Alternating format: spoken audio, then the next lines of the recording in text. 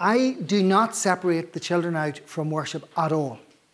Do, do, do you understand? They are part and parcel of what the Eucharistic experience is.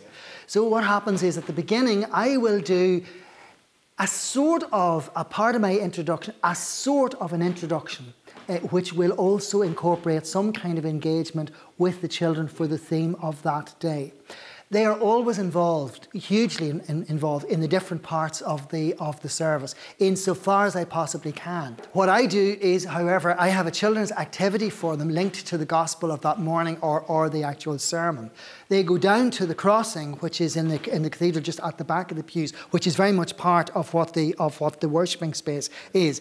And the, over a period of, of a number of years now, the noise becomes part of what the worship is. They're not hugely noisy but they are dropping crayons or they are doing this. So sometimes it might be doing a little, uh, a little um, piece of craft. Or, or, sometimes it'll be doing a, a, little picture or something. There'll be something. And there's lots of kind of resources in that on the internet. But, they, but they are always in as part of the worshipping community. I can't understand, do you know, we scratch our heads when, when kids get up to 16 or 17 years and they, they leave the church, they, they leave worship. But sure, we've been excluding them from, from, from, from grown up worship. Uh, I keep saying a phrase of mine is we have to present uh, uh, worship which, uh, which people can grow into and not grow out of.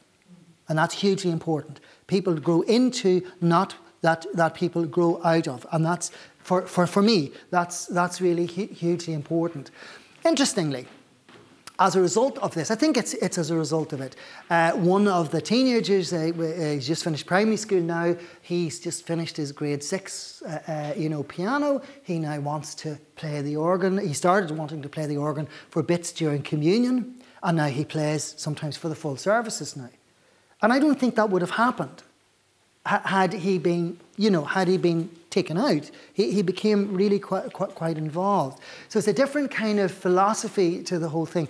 But, but, but we're still talking there about, about Ghana. So that's a, a piece that's important for, for me, that everybody is involved in some way.